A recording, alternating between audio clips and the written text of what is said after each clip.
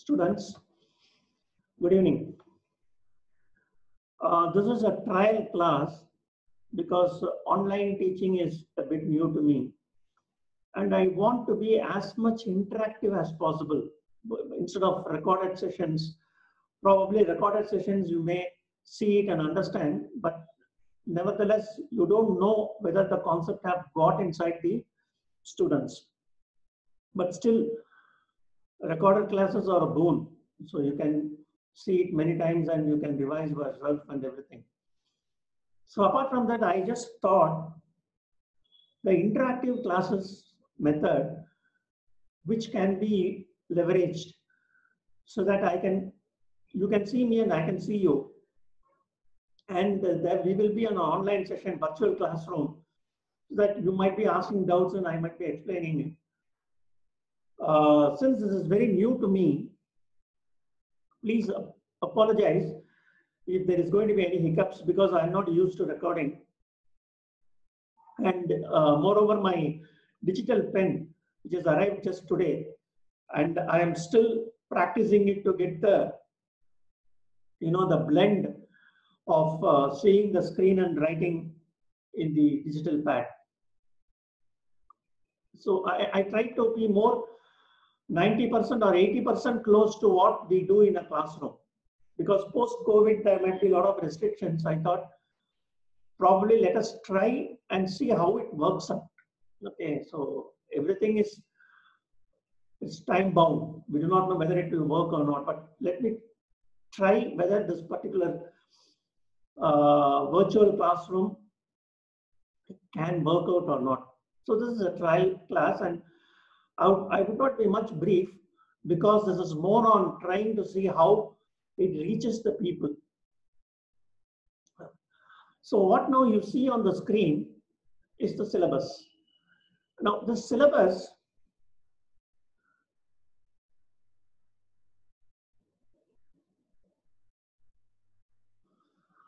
is same as what you do it in your CA examination syllabus but I have rearranged it in such a manner that you have a logical buildup. So the basic concept, material cost, labor cost, overhead cost, cost sheet, uh, ABC activity-based costing, job batch output costing, contract costing, service costing, process costing, joint product byproduct, cost ledger, marginal costing, standard costing, budgets and budgetary control. So this is a syllabus. So this everybody would, would be well aware of. Now going to the concept, many know about costing, you know, right from the childhood age because costing is more or less a financial common sense, which is redefined into the subject. Now, when you say what is cost? See, the cost is the monetary value of all sacrifices made to achieve an objective. So there are three crucial terms here, monetary value, sacrifices, objective. So the three crucial terms there. When you sum up the sacrifices which are expressed in monetary value to achieve an objective, so that particular portion is called as a cost. For example, you take this pen you may go and ask uh, the manufacturer, uh, you may go and ask in the shop, what is the cost of this pen? He may say it's around 30 rupees or 40 rupees. Again, see, the, sacri the, the cost is always in terms of monetary terms. So the sacrifices which are being done to make a particular product, that is an objective, is always in a monetary terms. Now,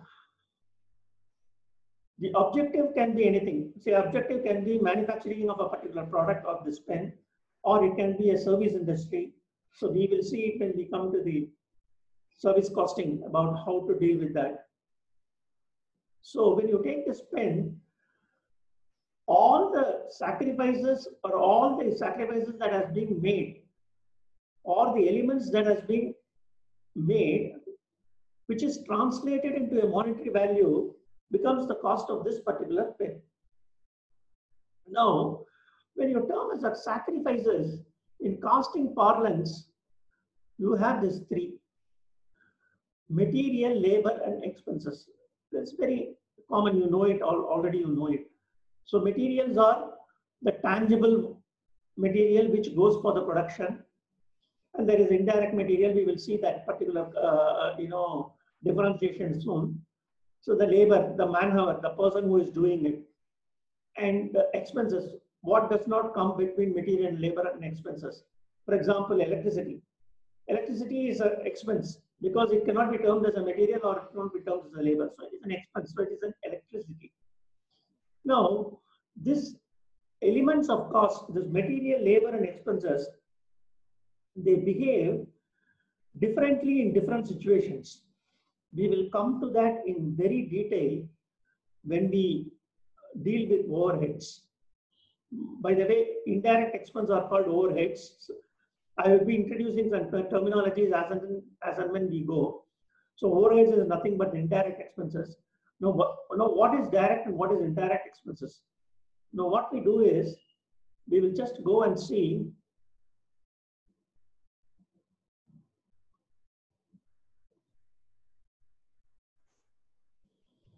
behavior of cost based on traceability. That is what I called as a direct and indirect expenses. See, direct expenses, as I told you, the direct materials, the tangible items that gets consumed in the process of manufacture, the plastic, the chips, the nib of this uh, pen are all direct materials. Now, direct labor, the man who actually does the work, for example, this is being done by a man or by three persons. So the three persons salary would go into the cost of this particular pen as a labor. And then the direct expenses. Some of the expenses which might have incurred directly for this particular product. For example, this particular nib exclusively, see in case of uh, the customized product, the customer might ask for a specific nib. So you you you purchase it for that and any associated expenses like uh, you know the freight charges and other things are all direct expenses because they, they can be directly associated with this pen because I incurred those expenses only for making the nib as per the requirement of the customer. So the freight charges can be directly linked with this. So you become a, so that becomes a direct expense for this particular pen. Now, then comes the indirect material. See, the indirect material are the tangible materials which are consumed but could not be directly traceable to a cost unit. See, I am introducing another concept here, terminology rather, a terminology cost unit. We will see to that in the next slide. So when you take a table, you finish a wooden table and then the wooden table goes for varnishing. So there will be a big varnishing bucket. So this carpenter will be taking the varnish and he will be varnishing each and every table. So one bucket of varnish might be used for 100 tables.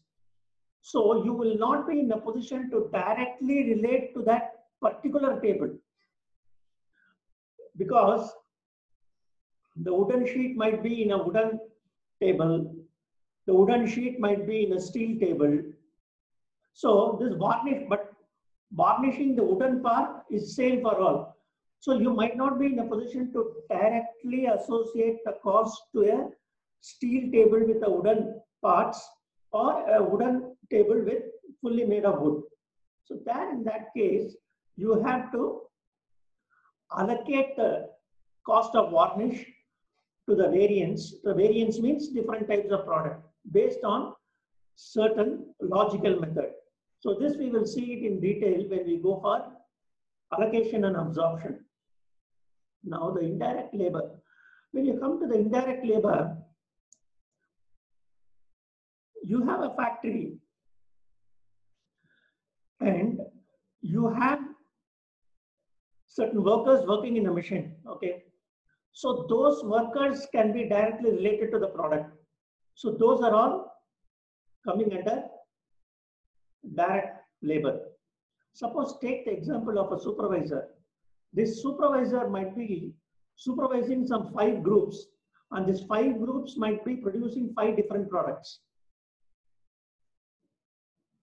So in that case, you cannot directly associate the supervisor's salary to a particular product. So there again, you have to allocate or apportion based on certain rules.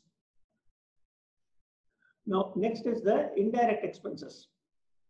When you come to the indirect expenses, electricity, the whole godown electricity is say 1 lakh rupees. And in that godown, some 10 products are produced. So in that case, you cannot pinpoint a particular product and say that electricity has incurred for this particular product this much, electricity has been incurred for this particular product this much. So in that case, you have to again allocate an apportion based on certain rules between the various types of products that are produced under a particular godown. Now, still more, when you go to the classification of overheads, there are three types of overheads. One is based on function, based on behavior, and the elements. That is what we, we, we, we saw at the uh, traceability part, the indirect materials, indirect labor, and indirect expenses. So by function, on, see, on, on seeing it itself, you can see that it is based on departments. Production departments expenses is production overheads. In the meantime, you should understand the indirect expenses, what we call is also called as overheads. The indirect material, indirect labor, indirect expenses. This put together is called as overheads. So that is another terminology you should be aware of. So that's the reason which, again, we are seeing the behavior of overheads in the next slide because direct expenses does not have any behavior. It directly relates to the product. So it's finished. It is done and dusted. When associated with the product, it is done and dusted. But whereas overheads, you still have certain procedures to undergo so that you can allocate the right amount to the various products. So we will now be familiar with the term overheads. Now these overheads behave based on function, based on a behavior, and based on elements. So elements is indirect material, labor, and expense we saw in the previous slide. So that you would be familiar with. Now by function is production overhead based on the departments in the company, production overheads. So what are all the production overheads? The supervisor's salary and um, various production administration department and productions. So all these are all production overheads. So administrative overheads are all the office, office, general office like accounts, accountant salary, uh, say managing director salary, etc. But when you go to production overheads, the, uh, salary of the president operations are all goes to the production overheads. Now, administrative overheads comes as a salary of the accountant, the other uh, conveyance charges, and all those things, a general category. And then selling, selling and distribution overheads. Normally, you will be clubbing together and telling it because it has become a norm. These, as the name suggests, is used for selling and distribution. What is selling selling overheads? The selling overheads is mainly meant for creating a demand. For example, advertisement. Advertisement in a newspaper, advertisement in a um, what do you call a TV. So all these things, selling overheads create demand and distribution overheads satisfy those demands like your warehouse uh, uh, Uh, truck expenses carrying your goods to the warehouse, so from the warehouse to the retail areas, etc. So there is a slight difference between selling and distribution overheads because selling creates the demand and distribution overheads fulfills the demand. Now, next is we will go to the behavior. based on the behavior, you have fixed and variable. So fixed overheads are the cost which remain constant. The cost which remain constant irrespective of what you produce. For example, rent. Whether you make production or not, you have to pay the rent. So it is a fixed charge. Variable overheads. Variable overheads are something which changes according to the pattern of production. For example, uh, say what I may call as, uh, say, machinery electricity. The more you run the machine, the more you consume the power. So those are variable expenses. The more consume, the more you consume the electricity, the more it gets accumulated. So that is a variable overhead. So that is a direct relationship between production and overheads. The production increases, overhead also increases. Production decreases, overhead also decreases. So there are they are directly proportional. Semi-variable is something in the midway, which means it may remain constant up to a particular level. And then after the level, if you come to a level two, it will increase. For example, rent. Say a 1000 rupees.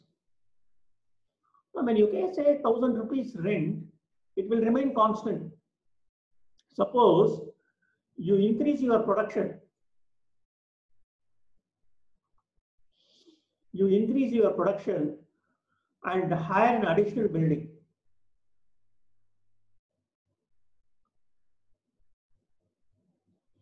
Addition rent 2000.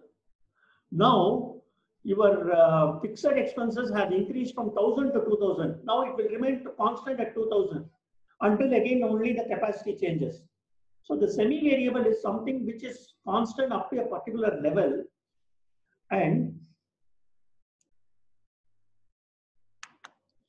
constant up to a particular level and then it becomes slightly variable when the level changes. Normally, this type of expenses will be found in the problems uh, like, you know, you are uh, operating with 30% capacity. You will give the fixed expenses. Then when you operate at 40% capacity, definitely there will be a change in the fixed expense. So this types of problems will come. We will see to that when we deal with it in detail. And this element, you have already seen it. Now you see the cost unit. I told you in that uh, previous slide, a terminology cost unit. So cost unit is the unit of product. It can be a product, it can be a service or time in terms of which cost is ascertained or expressed. You need some medium to express the cost, right? 30 rupees the pen is 30 rupees. That doesn't carry much, uh, you know, meaning. 30 rupees pen. Each pen is 30 rupees. So this one particular pen is 30 rupees. So which means there is a unit in terms of which you express a cost. Basically, it is a unit of measurement. So unit of measurement number. Numbers can be either, it can be either each It can be each, it can be weight, it can be of kgs, it can be of length, it can be of volume, it can be of time. So per kilowatts or power area, the square foot per construction industry. So it depends upon the nature of the industry. It is a unit of measurement. It is a unit of measurement. It is a unit of measurement against which a particular cost is expressed. Now, cost object. Cost object may be defined as a separate measurement for which the cost is required. So you have to see the difference here. Now, you need an object. When I say 30 rupees, I should try to get associated with this particular pen. So this pen becomes a cost object. Cost unit is the unit of measurement. For each pen, 30 rupees. Cost object is the pen itself. Because this is this pen is the parameter against which you associate your cost. So it can be a product or it can be a service or it can be a process, which we will see it when we come to the details. Now we are going to the next concept called cost center. It is a location or a person or item of equipment for which the cost may be ascertained for control purposes. In other ways, it is a convenient unit of an organization for which the cost can be ascertained and accumulated. All are having very thin line of difference because everything ultimately is expressed in a monetary value. Every concept has got a thin line of difference. The cost center means that part of the organization you dedicate and you start accumulating the cost towards that particular department and call it as a cost center. There are two types of cost center. One is personal, another is impersonal. Personal means when you go for uh, human resources uh, uh, criteria, when you group a human resources, say particularly a personal department, so it is all personal. Persons are working in that department. Impersonal is nothing but group of machinery or a, a department. So this is impersonal. Now, this cost center can be either a production center or a service center. Production is the one which makes the production, literal production, and service center is one which is annexed to it and it which service which helps the production for maintaining the machineries. For example, the repairs and department, stores and spares uh, departments are all service department. This production department and service department assumes more significance when we go for allocation and absorption of costing. We will see that when we come to that because uh, each for each uh, concept, we have a detailed discussion for that. So this is the production cost is where the production activities are actually carried out, whereas the cost center are those sections which are ancillary to it and enter service. Now next comes the profit center. Once you have a cost center, then obviously you can have a profit center, which means these are all for control purposes which means this particular center, you will be in a position to ascertain and allocate the cost and also ascertain and allocate the revenue. So this is a Pakka profit center. So you would know the profit and loss from this particular cost center. So these are normally for cost control and you know generating, generating and maximizing the profit. And normally when the, the profit center is there, the managing director in the dashboard would like to see how much amount of earning capacity this particular sector has recorded for the past several months or something like that. Now next comes is the investment center. Investment center is nothing but the same profit center, but whereas you have additional control of investing and diversifying that. Now, here, the measurement would be the return on investment. Here, the measurement would be the volume of profit. Here, it will be the measurement of return on investment.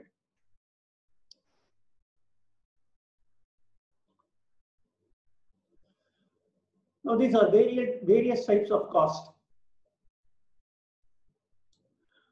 Conversion cost. What do you mean by a conversion cost? It is incurred for converting a raw material to a finished goods. It is the sum of direct wages, direct expenses, and manufacturing expenses. So what are all the costs that has incurred in converting a raw material to a finished goods? Then next is the sunk cost. What do you mean by a sunk cost? The sunk cost is nothing but the historical costs which are already being incurred. They have no role in decision making purposes. For example, if you take a machinery, the WDV of a machinery is a sunk cost. When you want to replace a machinery, whatever the book value is a sunk cost. So it is not considered. So sunk cost is something historical cost which is already incurred and which will not be taken for any decision making purposes. Now next comes the opportunity cost. It refers to the sacrifice made for the benefit of opportunity foregone in accepting an alternative course of action. Suppose you have two alternatives. One is I can park my investment in a temporary, uh, park my uh, cash in the temporary investments and earn interest, or I can use it for expansion of my business. Now, obviously, when you use it for expansion of the business, obviously your opportunity cost is the loss of interest. So it is, it is a notional uh, loss you are made to incur for choosing one alternative. So when you choose one alternative, then the benefit from other alternative is foregone. So that is the opportunity cost. Now next is the pre-production cost. So this is a pre-production cost as something which you keep on incurring until you commence your commercial production. So you should always, every, uh, you know, when you go for um, the financial records, there will be a date of commencement of production. So until the commencement of production, there will be trial runs, there will be a lot of other uh, changes in the designs and other things. So those costs are all pre-production costs. So they are all kept separately as a pre-production cost. So relevant cost. Again, relevant cost is something which should, when you are planning for something, you should find that particular cost is relevant for making your decision. For example, when you have a proposal of plant replacement by discarding the existing plant, the original cost of the machine is a sunk cost. So that is completely irrelevant. But whereas the sale value of that particular machinery, so that sale value, obviously you will be considering it while making a new investment. So the sale value of that particular cost, uh, I mean, sorry, that particular machine will is called, called, called as a relevant cost. Since this is an exploratory class, I may be a bit, uh, you know, very fast or other things because it is purely a experimental purpose.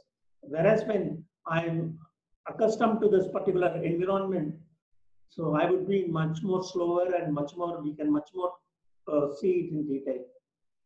So apologies for that because this is, as I saw you, this is not commercial production. This is a pre-trial which I am doing now.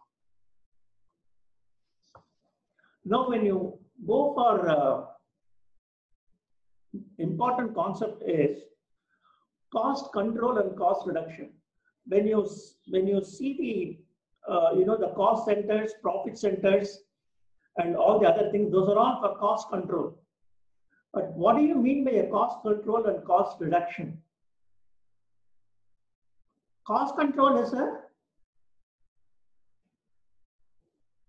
guiding and regulation based executive action for operating and undertaking. Cost control is something which the management gives you a budget. So you should be within the budgets. So that, that's something called as a cost control. Whereas cost reduction is something which you innovate in a product and reduction in price without impairing the suitability, without impairing the quality of that particular product. See, for example, if this pen, for cost control, if the nib is being made, you know, uh, with some uh, local uh, duplicate parts, then the quality of the pen will be going on, going off. So you do some innovation in the nib. The nib which cost at 50 rupees is now costing 10 rupees, but still the quality of the pen improves. So that is mainly called as a cost reduction. And uh, when you call, when you uh, see the emphasis, the cost control is only based on post-mortem exercise. So it's on past, uh, past performance and variances. So here it emphasizes on present and future performance. Approach, budgets and variance is a very conservative approach. When you go for any industry, they will say the budgets and they will say that, uh, you know, the why the budgets are exceeded or something like that. But whereas this is purely an R&D exercise, it's a dynamic approach. It, I, I would use the word Kaizen. Kaizen is a Japanese term, which means continuous improvement. Continuous improvement. So I would see this as a. I, I would see this as a Kaizen continuous improvement. You keep on innovating yourself and you reduce the price at the same time, keep the quality of the product. And then focus is very short term, but whereas this is long term on a permanent basis. And finally, it is a preventive function. It is just trying to see that you are not crossing over the fence. But whereas this is a corrective action because you do some innovation and you correct something new which is durable and which increases the quality of the pen at the same time reducing the cost.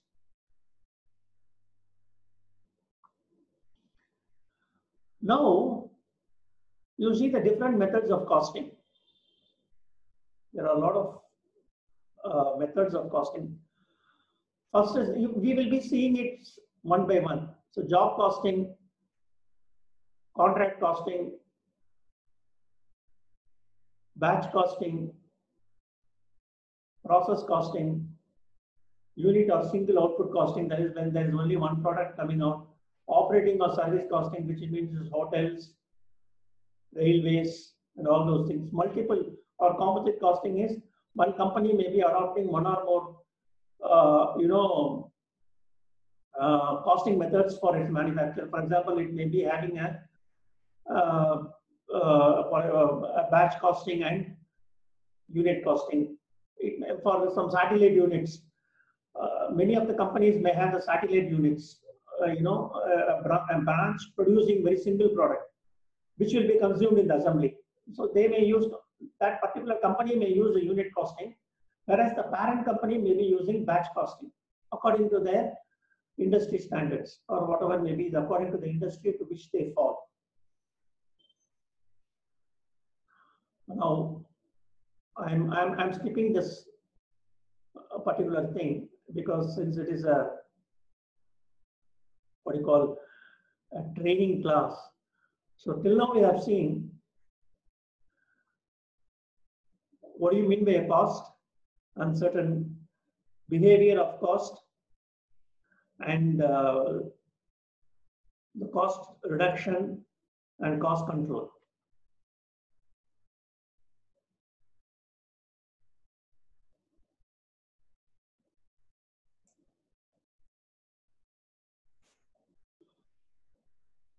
Now with this, we will now next move to what I mean by a cost sheet. Even though in my syllabus, I have taken this as four, but just for convenience purposes, I have taken it as a cost sheet.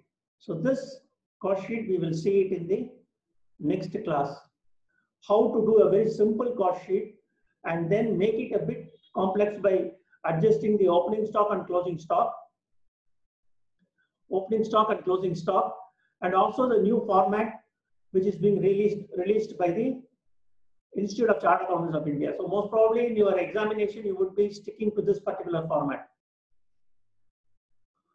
I think I'm, I'm stopping here because I do not know how this has particularly this particular uh, trial lecture has come come out. But anyhow, I'm going to post it in the YouTube as it is because you may give some kind of uh, improvement and uh, by seeing that again, I can also try to improvise myself and do that. Thank you very much.